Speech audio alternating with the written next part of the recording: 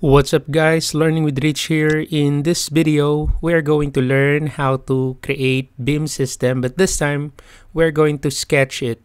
So from our last video, if you remember this area here, we created this beam system, our concrete beam system automatically. So this time we're going to learn how to sketch it. So let's say I'm going to create a steel beam in this area here.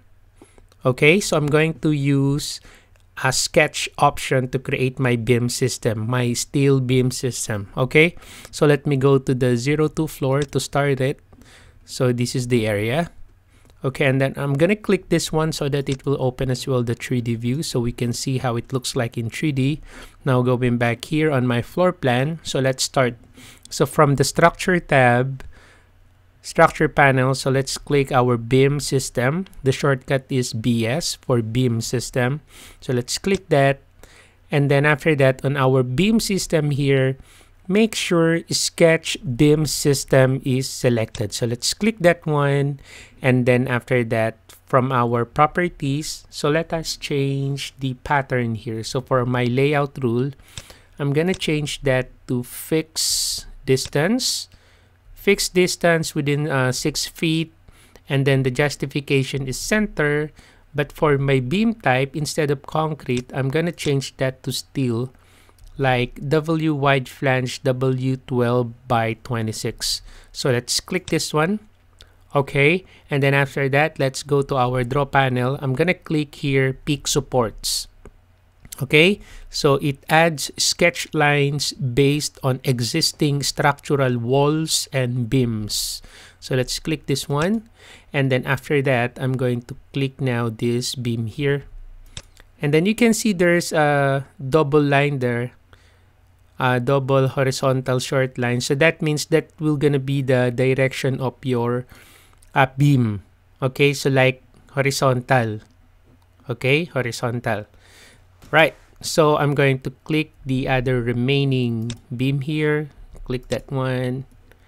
And then let's click this one as well. This one, this one, and then this one. All right.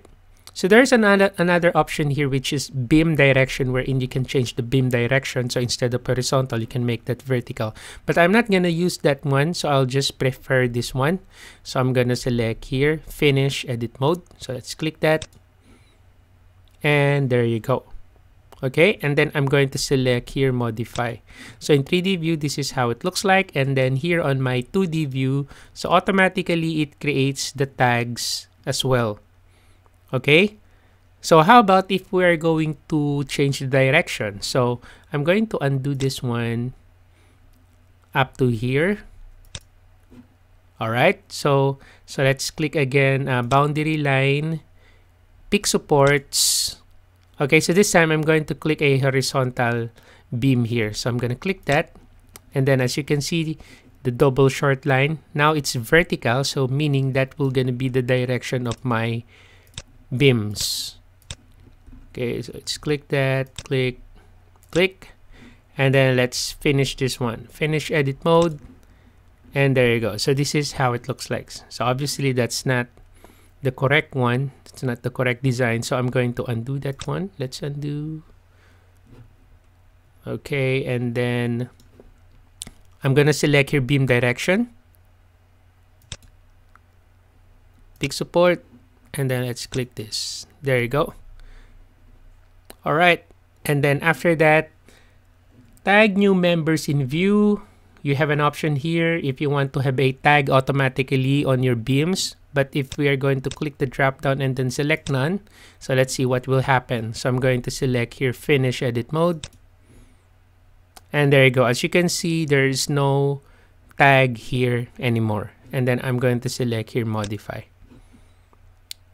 Right? Okay. So that's it for this simple exercise. So hopefully you learned something from this video. Thank you for watching. Have a nice day